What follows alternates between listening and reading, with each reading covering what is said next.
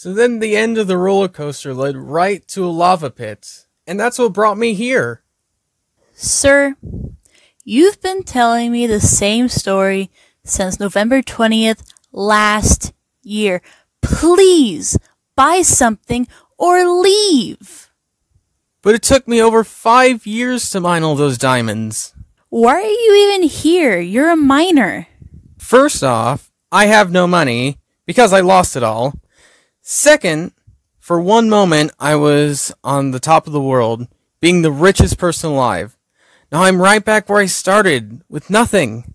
I don't know if, if I if I could even pick myself up again. Okay.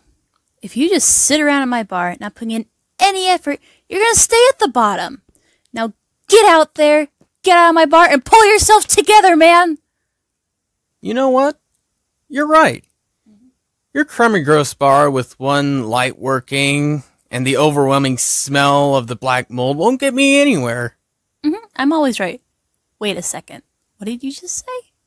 Not to mention the awful service and the disgusting bartender. Sir, I need you to step out.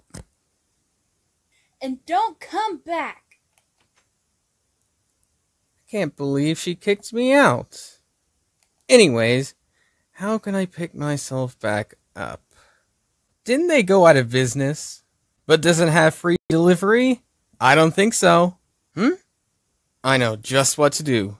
But first, I need to get ready. Perfect. And to get in, I'm gonna need this. I can't wait to milk this bang for all it's worth.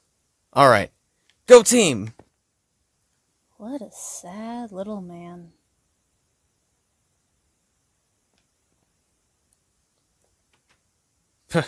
I'll show her. Soon I'll be rich in no time. One lonely mining later. Aha! I'm in. Uh, sir? What are you doing? Uh. One painful car ride later. What an idiot. Oh my goodness. Last time I listened to that bartender,